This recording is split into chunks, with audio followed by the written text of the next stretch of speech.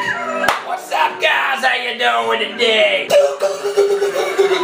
to you too.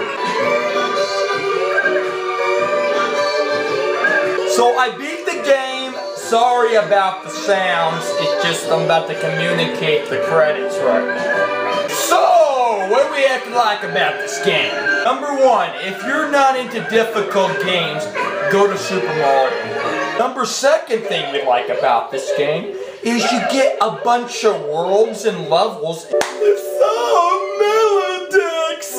Music.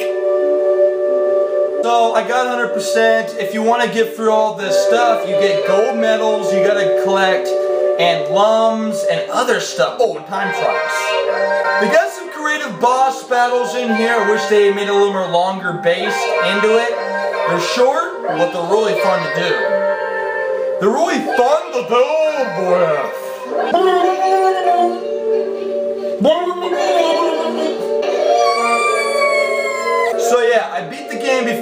didn't get 100%. It was very tensioning, and I almost killed myself. It was that bad. What I give this game for the platforming aspect, the music, the gameplay, the worlds, the innovative scheming controls, I'm gonna give it a 4.5 out of 5 or a 9.5 out of 10. It doesn't seem like they, it was a little bit short in a way.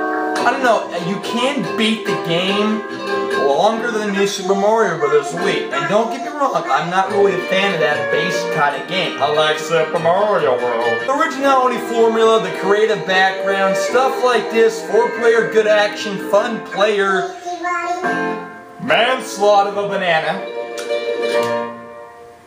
This game effing rocks. So go check it out down below.